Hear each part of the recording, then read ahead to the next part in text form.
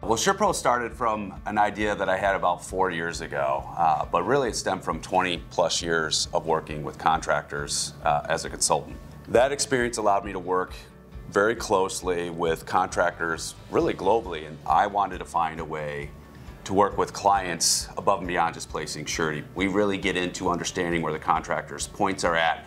We understand their objectives and their strategy of where they're going, and then we evaluate how they perform in six different areas of that business that allow us to go into some depth around the, the get work side. Like how do they win their work?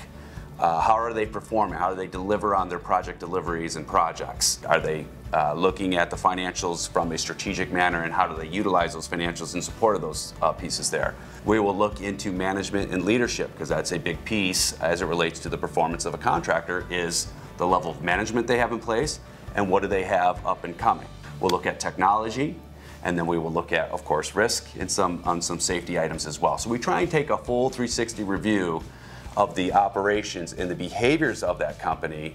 So when we look at the financial statements, a WIP report, and an agings report, which is where Dennis's specialties align, we will correlate between the behaviors that drive those financials and we'll target those. And we'll put a plan to work with our clients to move that along and the output of that will impact the, out, the outcomes of those financials and those results. In my 30 plus years of, um, of underwriting on the contract on the surety side, I was excited to join uh, Rosenberg and Parker. As an underwriter, you spend time with looking at financial statements, work in progress schedules, but John's program uh, really delves into areas that an underwriter isn't always comfortable going down, looking at, at systems, estimating, uh, work process, a lot of the behind the scenes management. The target market for the, for the product are those that, that are looking for an expansion of program, maybe going beyond where they have been in the past. They're one of the uh, steps that we've taken in developing this is sitting down with surety companies and, and tremendous excitement from that end. Uh, they absolutely see the value of this program, of this approach.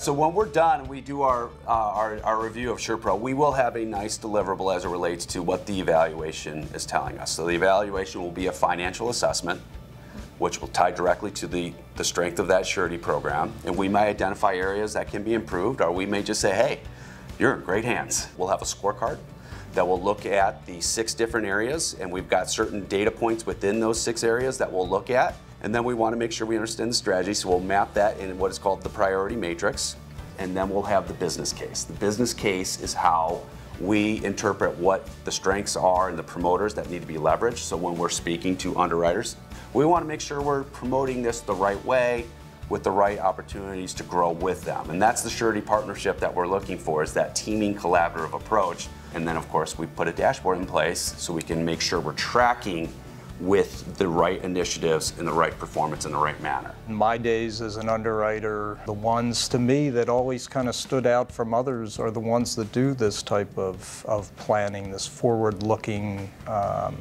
strategy for an agent um, to bring that forward, to have that in-depth knowledge and share that with a surety, that is incredibly meaningful to an underwriter to know you're working with an account that has that type of vision, uh, that type of uh, strategic outlook.